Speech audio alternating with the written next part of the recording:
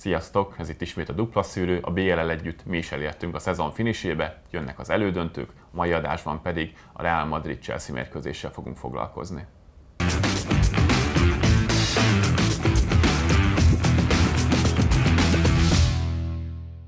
Kezdjük a Real Madrid hiányzóival. Lucas Vázquez szalag sérülés miatt most már kidőlt erre a szezonra. Sergio Ramos egyelőre még izom problémákkal küzdik, ketten biztosan nem fognak kezdeni. Ferlamendi, aki tud ugye bal hátvédet is, meg bal belső hátvédet játszani, ő még azért billeg, nem biztos, hogy kezdeni fog ezen a mérkőzésen, vagy legalábbis nem kockáztatják meg. Fede Valverde személye kérdéses, most elmutatom a három pozíciót, ahol szokott játszani. Ő eddig sérült volt, most covidos, valószínűleg ugyanúgy nem fog tudni visszatérni. Ami még kérdéses, az Eden Azárnak a személye. Most a hétvégén játsz, kapott 15 percet bajnoki mérkőzésen. Valószínűleg még vékony lesz, hogy be tudják állítani kezdőként, úgyhogy valószínűleg Vinicius fog kezdeni helyette. Egyébként a várható kezdő pedig a következőképp fog kinézni.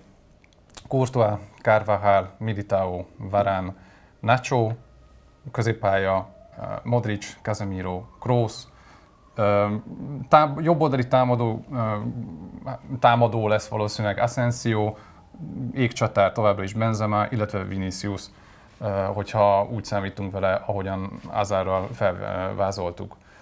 4-3-3-as felállás, ami valószínűleg ismerve a Real Madridot, illetve Zidánnak a taktikai hozzáállását, ez változni fog mérkőzés közben. A Chelsea-nek érdekes taktikáját le lehet másolni. Nagy kérdés lesz az, hogy hogyan fog tudni alkalmazkodni annak tükrében, hogy mennyi hiányzója van most a csapatnak. Chelsea kezdő csapatát, illetve a felállás tekintetében nagyon sok meglepetésre nem számíthatunk. Láthatjátok, hogy valószínűleg már ez a 3-4-2-1-es felállás, amit Tuhel regnálás alatt már megszakadtunk, illetve hogyha részletesebben is kíváncsiak vagytok arra, hogy hogyan néz ki a német edző alatt a Chelsea alapjátéka, akkor nézzétek meg a Chelsea Atletico Madrid meccselőtt készített videónkat, de akkor térjünk is rá a kezdőcsapatra. A kapuban valószínűleg Eduard Mendy fog helyet kapni, annak ellenére, hogy Kepa több meccsen is védett a közelmúltban. A belső védő hármas személyesen lehet kérdés, hogy a jobb oldalon Cezár Aspilicueta kezd, középen Thiago Silva, helyére esetleg bekerülhet Andreas Christensen, de nem túl valószínű, még a baloldali középhátvéd Antonio Rüdiger lesz. A jobboldali szányvédő pozícióban szinte biztos, hogy Rhys James kap majd szerepet, a középpálya pedig abból a szempontból érdekesebb, hogy Mateo Kovacic sérülés miatt kihagyja ezt a mérkőzést, ami egyrészt érzékeny veszteség a Chelsea-nek, másrészt eléggé egyértelművé teszi, hogy Engolo Kanté, illetve Jorginho fog kezdeni ezekben a pozíciókban, még a baloldali szánvédő szinte biztosan Ben Chilwell lesz, és nem Marcos Alonso. Ami igazán kérdőjel az, hogy mi lesz a támadó sorban, ahol egy dolog biztos, Mason ott lesz a kezdőben, ez nem is lehet kérdés. A másik két támadó poszt már érdekesebb, hiszen a középcsatár pozíciójában Tuhel nagyon sokat szeret variálni, általában ezt az ellenfelekhez igazítja. Most én arra tippelek, hogy egy labdatartásban jobban használható játékos fog szerepelni Kai Havertz személyében, baloldali támadóként pedig Christian Pulisic vagy pedig Timo, Timo Werner kezdhet. Én valamiért azt érzem, hogy az előbbi kap majd lehetőséget, de ez lesz a Chelsea-nek az alapfelállás és a várható kezdője. Térjünk is rá akkor rögtön, hogy mi várható ezen a mérkőzésen. Ugye a Chelsea-nek az alapfelállása, ahogy már elmondtam, ez a 3-4-2-1 lesz, két tízessel, illetve két szányvédővel, akik valószínűleg magasan fognak helyezkedni. Ami fontos lesz a Chelsea támadásépítése kapcsán, hogy ez ellen az alapfelállás ellen a Real Madrid milyen védekezést választ, mert azért talán az egész mérkőzésnek ez a kulcsa önmagában. Abszolút. A Real Madrid esetében ugye ez a 4-3-3 egy alapesetnek vehető, vagy egy ilyen basic felállásnak, Viszont azért a Chelsea okoz néhány felt, vagy némi fejtörést azzal, hogy milyen diszpozícióban uh, látható. A 4-3-3-as felállásnak ugye megvan az az előnye, hogy a három támadó egyszerre emberezni tudja a három belső védőjét a Chelsea-nek. A probléma az az, hogy a Chelsea azért nagyon erősen támaszkodik a szányvédőire, akik a háromvédős játékrendszer miatt sokkal magasabban tudnak helyezkedni. Ha pedig a Chelsea-nek a támadói azok lekötik ugye a Real Madridnak a hátvédeit, azzal megkockáztatja azt a Real Madrid, hogy túlságosan feladja a folyosóit, és ezáltal túlságosan sérülékenyé válnak ezekben a zónákban. Az Atletico ugye erre egy kicsit túlkompenzálva azt lépte meg, hogy hat emberre próbáltam levédekezni ezt a területet. A Real Madridnál valószínűleg az fog történni, hogy hátra rendelik a jobboldali támadót, aki jellemzően Valverde szokott lenni, láttuk már Lucas Vázquez is ott védekezni, most előfordulhat, hogy Marco Asensio, vagy Asensio lesz az, aki, akit szépen hátra sorolnak, és ezzel lényegében egy létszám egyenlőséget tudnak biztosítani a Chelsea szányvédő jellem. Ezzel gyakorlatilag ezzel az 5-3-2-es felállással aztán a Real Madrid valószínűleg megpecsételi azt, hogy hátrébb kell majd uh, sorolniuk, tehát nem fogják magasan letámadni a Chelsea-t a saját védő harmadukban. Uh, ha igazán akarják, akkor még úgy is dönthetnek, hogy, uh, hogy Benzemát előhagyják és Vinic- vagy, tehát, hogy Benzemát előhagyják és Vinicius rendelik még hátra. Uh, ez nyilván attól függ, hogy, ezek, hogy, hogy a Chelsea egyáltalán, ha már feljebb helyezkedik, akkor ott milyen taktikai variációkkal próbálja meg megbontani a Reálnak a védelmét. De egyelőre maradjunk a három vagy az 5-3-2-nél, és akkor attól függően, hogy a Chelsea miket fog lépni, akkor a Real Madrid is úgy reagálhat ezekre. Ja, egyébként én is azt tartom legvalószínűbbnek, hogy azt fogja alkalmazni Zidane. Ugye a Barcelona ellen volt az, hogy Valverde játszott ugye jobb szélsőt a 4-3-3-ban, de védekezésben Jordi Albával visszament gyakorlatilag egészen ötödik védőt játszani. Itt ugye az veti fel a kérdést, hogy Valverde valószínűleg nem lesz. És hogy Asensio ugyanezt a védekező feladatot el tudja látni, én ebben nem vagyok azért annyira biztos, de mégis azt gondolom, hogy ez a leghatékonyabb módja annak, hogy a Chelsea-t megakadályozzák abban, hogy hatékonyan építsék fel a támadásaikat, mert valóban így a dupla tízesre az oldalsó belső hátvédek, akik ugye szán, szélső helyidőkből lesznek, ki tudnak lépni, le tudják őket követni a középpályára, a szányvédőket pedig a visszazáró játékosok tudják levédekezni, illetve ilyenkor ki lehet kényszeríteni, hogy a Chelsea-nek az egyik nagy hibája, az pedig az, hogy impotensen tudják járatni a labdát.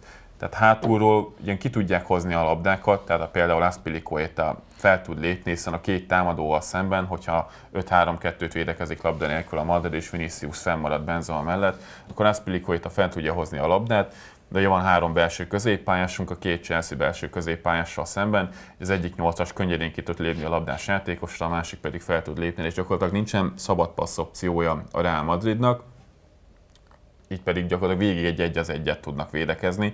Ez lehet talán a legvárhatóbb opció, ráadásul ilyenkor, hogyha egy belső védőnek fel kell lépni a Chelsea-ből, és mondjuk van egy labdavesztés, tehát mondjuk egy felpasszolt labdánál történik egy párharc, mondjuk egy Mount elveszíti a labdát, mert mondjuk megszerzi tőle Mendy, akkor egy indítással rögtön ki lehet ugratni mondjuk Vinicius-t, ez a Real Madridnak ugye nagy fegyvere volt például a Barcelona elleni mérkőzésen.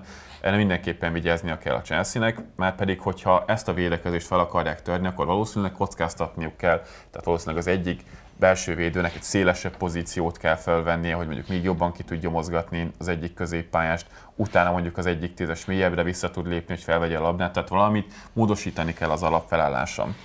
Esetleg még az lehet az érdekes, hogyha a Real Madrid mégsem ezt a módszert választja a védekezésre, tehát Asensio miatt mondjuk ezt az ötvédős felállást nem kockáztatják meg, hanem marad, amit mondjuk eddig is mindig láttunk Zinedine Zidantól, hogy egy 4-4-2-t mondjuk felrak a pályára, és úgy próbálja megállítani az ellenfelet, amikor az egyik belső középpályás, általában Modric vagy Kroos, Casemiro szokott mélyen maradni, fellép a belső védőkre, vagy egy középső blokkot húznak meg, és ilyenkor megtehetik azt, főleg ez mélyebb védekezés esetén tudna működni, hogy a két támadó, a fellépő középpályás és mondjuk Benzema a passávokat zárja el a két mélyen helyezkedő középpályás elől. Ugye ennek azért megvan az a hátránya, hogy így viszont nagyon kiszolgáltatottá válik a Real Madrid az utolsó sorban, tehát itt már könnyedén lehet manipulálni például a szélső hátvédeket, akik mondjuk, hogyha belépnek a tízesre, akkor nagy terület nyílik meg a szánvédők előtt, vagy hogyha próbálja felhozni a labdát a Chelsea-nek az egyik belső védője, ugyanígy megvan a 3 a 2 elleni főnyi az első vonalban, és az egyik szélsőnek ki kell lépni, akkor már is ott van a terület a, a szánvédő számára, és meg tudnak csinálni egy kettő egyet az egyik tízessel, a labda közeli tízessel a szélsővédővel szemben. Ez a 4-4-2 szerintem nem egy működőképes koncepció, főleg azért, mert hogyha valaki látta például a Chelsea-nek a mérkőzéseit az elmúlt hetekben, a tényleg konkrétan az történt, hogy azok a csapatok tudtak hatékony védekezők taktikát bemutatni, akik öt védővel álltak föl, uh-huh. és valóban szinte mindenki, főleg itt a West Brom Brighton elleni meccsekre gondolok, ott valóban ezt a ötvédős felállást, az 5-3-2-t játszották, visszahúzódó játékossal,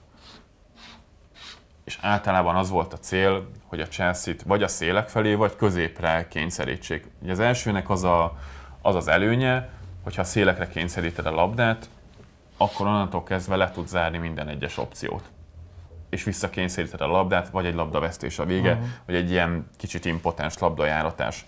Hogyha középre kényszeríted a labdát, mondjuk úgy, hogy a két csatár szabadon hagyja a belső védőt, ezt például láttuk a Brighton-tól és a West Brom-tól pont, akkor egy kockázatos felpasszal a kapunak háttaláló középpályán, sokat ebben mondjuk Kovács is tudna segíteni, uh-huh. tehát hogy kapunak háttal is le tud mondjuk fordulni egy emberről, de Jorginho és Kanté ebben annyira nem erős. Tehát, hogy ezeket az embereket agresszívan le tudná támadni a Madrid, és ki tudnának harcolni egy labdaszerzést, akkor onnantól kezdve pedig lendületből tudnának kapu felé indulni.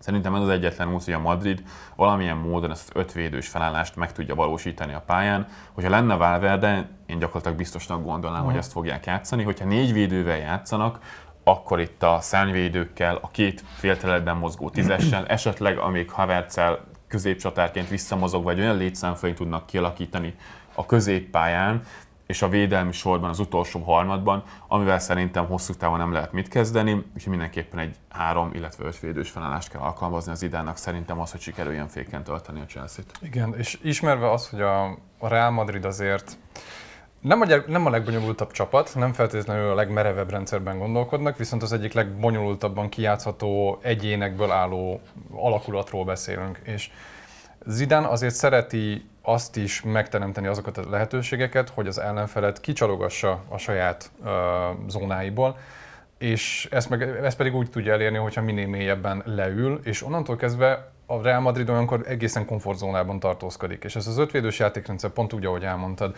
alapból jól áll nekik, amiatt, hogy le tudják emberezni, ki tudják alakítani ezeket a párharcokat. Viszont, hogyha ha nagyon mélyre kúsznak, akkor szoktak azzal az opcióval élni, hogy Vinicius-t még hátrébb viszik, és gyakorlatilag betagozzák, vagy betagozódik a középpályára, és ezzel kialakul egy 5-4-1-es felállás, és ezzel aztán teljesen feladják azt, hogy megzavarják a Chelsea labda kihozatalát, Uh, és olyankor ugye a Chelsea mit szokott lépni, általában a belső védőivel, ugye Aspilicuetával, illetve Rüdigerrel szokott még magasabban uh, fellépni, és onnantól kezdve, hogyha ha mondjuk Aspilicueta, aki inkább a szélen, vagy inkább egy folyosó ember, tehát hogy valószínűleg ő inkább a szélre fog kilépni, vagy Rüdiger a másik oldalon, ha éppen kihozza, ha itt sikerül mondjuk egy labdaszerzés, akkor Vinicius az, aki, akinek a gyorsaságára, a kontrákra, az átmenetekre lehet építeni, tehát hogy onnantól kezdve, hogy ezeket a területeket megteremtik azzal, hogy mélyre visszahúzódnak, meg tudják játszani azt a félidőnként mondjuk 2-3-4 ilyen gyors kontrát, amivel veszélyt tudnak teremteni. A másik előnye annak, hogy, hogy visszahúzódik, az az, hogy a Real nagyon szereti lezárni ezeket a zsebeket. A zsebek alatt most értsük azt, hogy a védel, védelem vonala, illetve a középpálya vonala közti területeket minél inkább leszűkítsék. Amiben aztán egyébként Werner, mint az Atletico ellen, vagy Mason Mount nagyon sokat lépett vissza, nagyon sokszor megpróbálta magát szabaddá tenni. Casemiro, Modric, Kroos, mind a hárman, főleg Casemiro ugye az, aki egyébként, amikor Sergio Ramos játszik, akkor nagyon sokszor szokta kompenzálni Ramosnak a kilépéseit. Most a kérdés az az, hogy Militao vagy Varán, illetve Nacho-nak a, az elmozgását mennyire fogja tudni kompenzálni, mennyire fogja tudni belépni, mennyire fog tudni belépni azokra a területekre. Minden esetre nagyon kevés játéktere adódik majd a Chelsea-nek, hogy itt ezeket bejátsza, és nem biztos, hogy egy Havertz, egy, egy, vagy akár egy Werner, hogyha játszani fog, az annyira fog tudni lubickolni. Tehát, hogy a Real igazából a kezére játszik azzal, hogyha minél mélyebbre visszahúzódik, és a Chelsea-t meg még inkább ki tudja oltani az ilyen helyzetekben. Most akkor nézzük meg, hogy a Real Madrid hogyan vezeti a támadásait. A Chelsea ellen valószínűleg maradni fog a hagyományos megoldásoknál. Ha a 4-3-3-as felállást választja alapból, akkor ugye várhatóan Asensio az, aki már alapból magasabban fog helyezkedni. Um, és jellemzően egyébként laposan hátulról szokta kihozni a labdákat a Madrid, a két belső védő uh, visszalép is kéri a labdát, ami azért egy Chelsea ellen okozhat problémákat, már csak azért is, mert oké, okay, hogy nyomás alatt egy Varán és egy Militao nem biztos, hogy egy életbiztosítás, de ha a Chelsea attól függően, hogy három támadóval lép ki, vagy kettővel és egyet visszavon, tehát attól függ, hogy milyen kombinációkat választ, azért valószínűleg egy kicsit nehezére fog esni, hogy ezt könnyen átjátsza. Ha az ellenfél nagyon elfolytaná ezeket a kihozatalokat, akkor a Madridnak általában opciója szokott lenni az, hogy Kurtvának azért jó a lábjátéka, tehát ki tudja tenni a labdát akár a szélső hátvédek felé, ami azért a Chelsea szányvédője ellen ismét ö, okozhat galibát, vagy a másik megoldás az az szokott lenni, hogy ö, Modric az, aki megpróbálja szabaddá tenni magát. Tehát a helyzeti előnye a Real Madridnak ebben a felállásban az az, hogy van egy létszámfölénye a középpályán, tehát várhatóan az fog történni, hogy a belső védők nagyon hamar fogják keresni a középpályás megoldásokat, tehát hogy minél gyorsabban átjátszák Modricék felé a labdát, Modric pedig ugye ebben jó, vagy akár Kroos is, hogy minél gyorsabban kibújni az ellenfél fedező árnyékából, és szabaddá, szabaddá téve magát megjátszhatóvá teszi. Magát, és ami pedig ugye jellemzően még szokott lenni egy megoldás, az az, hogyha Kroos az, aki visszalép ugye a klasszik Kroos, Kroos megoldásként a baloldali félterületbe, azzal nyújt ismét egy passzopciót, amivel a szélső hátvédek még magasabban tudnak helyezkedni, tehát ezzel egy kicsit lejjebb tudják húzni majd a Chelsea-nek a csapatblokkját. A Chelsea-nek ugye nyilván függ attól, hogy milyen, milyen fel, védekezés fog választani, ami még megoldás szokott lenni az az, hogyha Benzema vagy Vinicius, vagy, tehát Vinicius szokott lenni az, aki ugye elviszi az egyik védőjét, és Benzema, aki vagy a baloldali félterületbe lép vissza, vagy akár a középpályára is ö, növeli a létszámot, és akkor egy hosszú labdával megjátszhatóvá teszi magát, és onnantól kezdve, ha visszateszi Modricék felé, akkor már tudnak fordulni. Kérdés az, hogy a Chelsea milyen módokat fog választani ennek a levédekezésére. Igen, még itt a hosszú labdáknál az érdekes, amit itt a Madrid Global Benzema meg vinicius szokott alkalmazni, hogy egy három belső védős rendszer ellen mondjuk ráduplázni az egyik oldalsó középhátvédre, mondjuk egy hosszú labdával, tehát tényleg, hogy Kroos visszalép, és mondjuk egyből lövi területbe a labdát, ez ugye itt annyira nem működne, mint egy Liverpool, ahol van egy biztosító játékos, még akkor is, hogyha a szánvédőnek fel kell lépni a magasan helyezkedő szélső hátvédre, viszont Benzema nagyon sokszor kilép ugye erre a területre, és leköti az oldalsó középhátvédet, és ebbe a területbe akár egy továbbfejelt labdával tudna Vinicius Junior indulni, tehát szerintem ez is egy alternatív, hogyha nagyon nem bírná kihozni laposan a labdát a Real Madrid. Nyilván ezért az alapjáték az lesz szerintem, hogy négy védővel igyekeznek kihozni a labdákat, hogy a három belső védővel, tehát ha valóban Kroos visszalépeget ide, akkor szerintem annyi előnye lesz a Chelsea-nek, hogy ezt egy az egybe le tudják védekezni, tehát három támadó a három védőre, vagyis egy há, há, két védő és egy visszalépő játékosra, szánvédők a szélső hátvédeken, középhátvédek pedig három a hárommal tudnak védekezni. Nyilván ennek meg van a kockázat, hogy végemberezned kell a pályán, illetve egy elmozgással, tehát mm. ha mondjuk Asensio ilyenkor úgy dönt, hogy mondjuk visszalép nagyon mélyre, akkor a védőnek, mondjuk Rüdigernek nagyon sokat kell kockáztatni, hogy mélyre kövesse, azért mögötte nyílik egy terület, és mondjuk Benzema azt is be tudja futni akár, de akár ezt az egy az egyes védekezést azért a Chelsea-től mm. láttuk, hogy meg tudják oldani. Hogyha marad ez a 4-3-3-as vagy 4 védős megoldás, akkor a Chelsea-nek azért nagyon sok válasz szokott lenni erre. Egyrészt van az, amit említettél te is, hogy az egyik játékos egyszerűen mélyebben helyezkedik, és egy ilyen 3-4 1-2-t védekeznek, tehát a két közép hátvédre kázi a két tízes lép be, a középcsatár, vagy az éppen az egyik tízes, ezt egyébként szokták váltogatni, majd egy szélső jön be, és a csatár húzódik ki. De az alapfelállás az a 3-4-1-2, ez szokott maradni, hogyha mondjuk egy hatos ellen és két közép hátvéd ellen játszanak, akkor is igazából létszám egyenlőséget tudnak kialakítani, megint csak tudnak emberezni mindenhol, tehát a két középpályás, a két nyolcasra a tízes vagy az egyik behúzódó szélső marad a hatoson, és lezárják az összes passzopciót. Nyilván ilyenkor a kapus használatával ezt megpróbálhatják kijátszani, onnantól kezdve viszont a szélre tudják kényszeríteni mondjuk okos fedezőárnyék használattal a madridi játékosokat, uh-huh. és onnantól viszont azt meg tudják oldani. A másik lehetőség az az, hogy már tudatosan mondjuk a szélek felé kezdik el kényszeríteni a Real Madrid játékosait.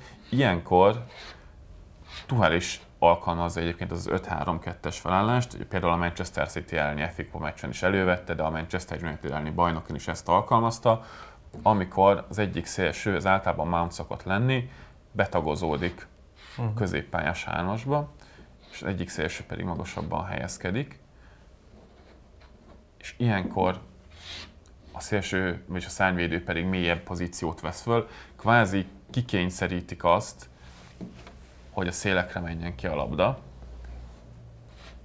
és ilyenkor pedig belülről tud kilépni mondjuk az a játékos, aki alapból támadó szélsőként vagy tízesként helyezkedne, a középpálya pedig tud tolódni.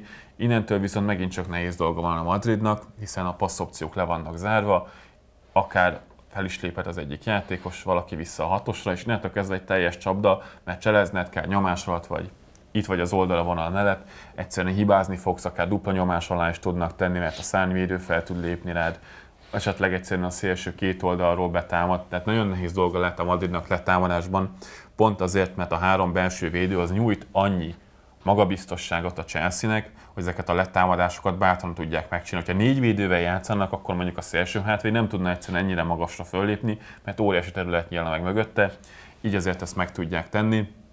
Hogyha pedig mélyen kell védekezni, akkor azért a Chelsea-től sem idegen az, hogy visszállnak egyszerűen egy ilyen 5-4-1-es formációra, és lezernek a területeket a saját kapujuk előtt. Chelsea-nél nyilván az, az utolsó dolog, amit akarnak, ők általában magasan igyekeznek majd megállítani a Real Madrid támadás építéseit. Úgyhogy valószínűleg, mivel a játéképe inkább úgy fog kinézni, hogy a Chelsea fog magasan letámadni, a Real pedig mélyen visszahúzódni, ezért valószínűleg pont az előbb említett transitionokban, tehát az átmenetekben tud érvényesülni majd a Real Madrid.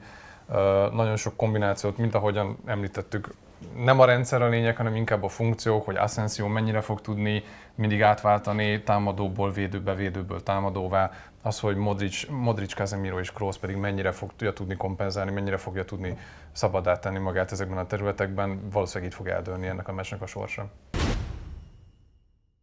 Ennyi volt már a dupla szűrő, hogyha tetszett a videó, akkor ne felejtsetek el nyomni egy lájkot, illetve hagyjatok ott a kommentben néhány megjegyzést. Ne felejtsétek el, hogy jövő héten újra találkozunk, hiszen van egy másik elődöntőnk is, a következő adásunkban pedig a Manchester City Paris Saint-Germain elődöntőről fogunk beszélni. Sziasztok! Sziasztok!